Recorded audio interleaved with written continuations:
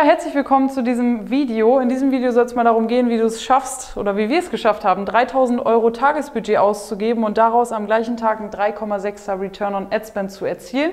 Wichtig getrackt in Facebook. Ne? Es gibt ja immer so einen kleinen Verlust, was kommt an Käufen an. In der Realität war es noch höher, das heißt, es war schon eine sehr, sehr profitable Nummer in Bezug auf die Marge und Co weil man wirklich hunderte Neukunden an diesem einen Tag gewonnen hat. Und wenn man jetzt noch überlegt, man hat viele wiederkehrende Kunden, dann ist das schon wirklich ähm, eine ganz gute Geschichte. Und in diesem Video möchte ich dir jetzt mal erklären, ja, wie man das genau macht, wie wir hier vorgegangen sind. Ich wünsche dir ganz viel Spaß.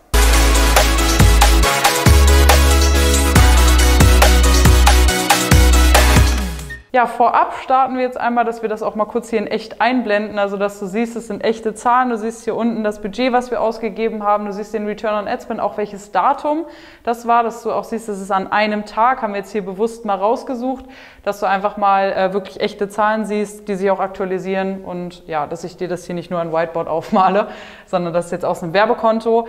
Ähm, wie gesagt, es geht darum, 3000 Euro Tagesbudget, das ist jetzt wirklich der Bereich, wo man sagen kann, man skaliert schon, weil bei 200 Euro pro Tag würden wir jetzt noch nicht davon sprechen. Das ist ja eher so ein Budget, wo man starten kann.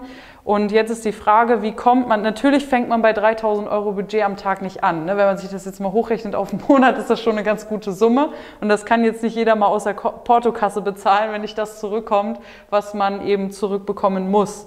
Das heißt, wenn du jetzt zum Beispiel, ähm, oder wenn man jetzt startet mit 300 Euro pro Tag, ist natürlich die Frage, okay, was passiert hier zwischen, wenn man hier sich jetzt so einen Zeitstrahl anguckt, dass man hier hinkommt. Weil ich habe schon angeschnitten, natürlich starten wir damit auch nicht. Wir geben auch mehr aus. Wir geben nicht bei jedem Kunden so viel aus. Es ist immer unterschiedlich, je nachdem, was auch möglich ist bezüglich äh, Warenbestand und Co.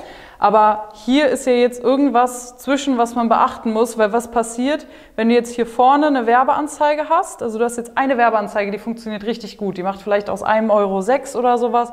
Und da sagst du, da ist jetzt Potenzial drin, das möchte ich jetzt gerne aufdrehen dann passiert in der Regel Folgendes, die wird über kurz oder lang nicht mehr funktionieren. Das heißt, es ist nichts, was sich skalieren lässt. Du würdest vermutlich hier hinten überhaupt gar nicht ankommen, sondern irgendwo hier, vielleicht sogar schon am ersten Tag, sobald du ein bisschen mehr Budget drauf gibst, würde das einbrechen. Ist bei vielen zumindest so. Ist nicht immer so. Es gibt auch mal manche Sachen, die laufen relativ lange durch. Aber hier mal so ein Beispiel, was in der Regel passiert. Das heißt, ähm, offensichtlich ist schon mal klar, eine Anzeige ist auf gar keinen Fall aussagekräftig und ausreichend. Weil ähm, ich selbst und auch keiner unserer Kunden möchte sein Business auf ähm, das Risiko einer Werbeanzeige stellen. Man möchte nicht, wenn eine Werbeanzeige mal nicht mehr funktioniert, dann äh, komplett runterkrachen. Und deswegen ist es so, dass du quasi als erste Aufgabe hast, oder was wir machen, ist, ein starkes Fundament zu bauen. So, das heißt, man möchte erstmal mehrere Anzeigen finden, die, sich funkt, äh, die funktionieren, dass man sagt, man hat schon mal ein Fundament, dass auch wenn mal eine Anzeige nicht mehr funktioniert, dass man nicht komplett runterkracht, dass man immer noch genug Anzeigen hat. Ich mache das jetzt exemplarisch, ne? das ist jetzt nicht die exakte Anzahl, die wir hier verwenden, sondern nur als Beispiel, dass du dir vorstellen kannst, ähm, wenn du jetzt 300 Euro Tagesbudget hast, vielleicht drei Anzeigen schaltest, dann wird es nicht zwangsläufig auch bei 3000 Euro genauso laufen, weil es wird immer mal wieder was wegbrechen. Deswegen geht es darum, dass du immer zumindest einen Prozess hast, der es dir ermöglicht, immer wieder neue Anzeigen zu finden, die funktionieren. Weil mit allen zehn Anzeigen, die du neu launchst oder neu veröffentlichst, wird es auch immer welche geben, die von Anfang an überhaupt nicht funktionieren. Das ist ganz normal. Das ist auch bei niemandem anders. Es gibt immer Anzeigen, die sind sehr gut und Anzeigen, die sind nicht so gut, also oder sehr schlecht sogar.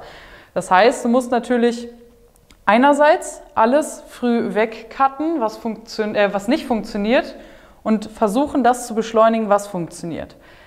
Was wir uns da immer anschauen, ist, und das fehlt bei sehr vielen Leuten, ähm, so das Verständnis für die Kennzahlen und das Ganze überhaupt systematisch so aufzusetzen, dass man nachvollziehen kann, warum es gerade funktioniert.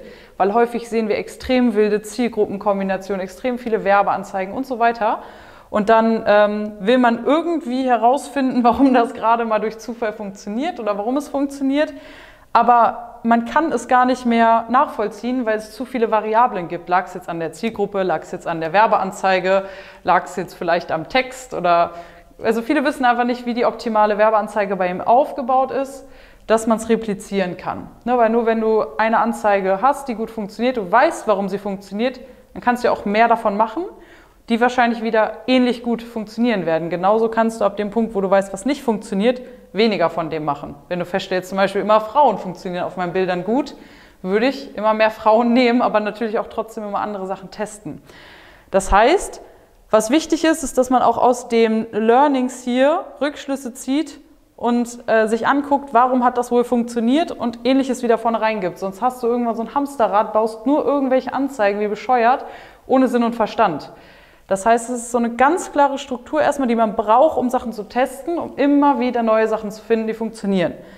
Und wenn man dann hier mal mehrere Anzeigen gefunden hat, die funktionieren, wenn man hier zum Beispiel mal fünf Anzeigen hat, zehn Anzeigen, je nach Budget auch wieder, ganz wichtig, dann kann man auch mal Stück für Stück das Budget erhöhen, teilweise gezielt pushen und kommt dann auch mal hier hinten hin. Aber absolut nicht mit der gleichen Anzahl an Werbeanzeigen, meistens wie bei 300 Euro Budget, weil wir dann einfach das Ganze mehr diversifiziert haben.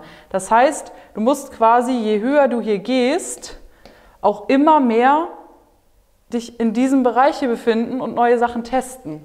Das heißt, du musst immer wieder Sachen nachschieben und es hört auch nicht auf, weil je mehr Budget du ausgibst, desto schneller brennen, also man spricht immer davon, dass Anzeigen ausbrennen, desto schneller brennen diese Anzeigen auch mal aus, das, was ich hier gemeint habe.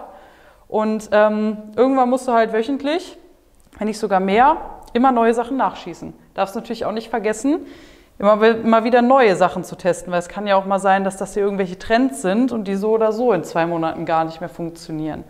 Und das ist halt das, wo vielen einfach die Struktur fehlt, wo viele einfach nicht wissen, wie gehe ich jetzt konkret vor, warum funktioniert gerade was, weil es ist häufig auch so ein Zufallskonstrukt.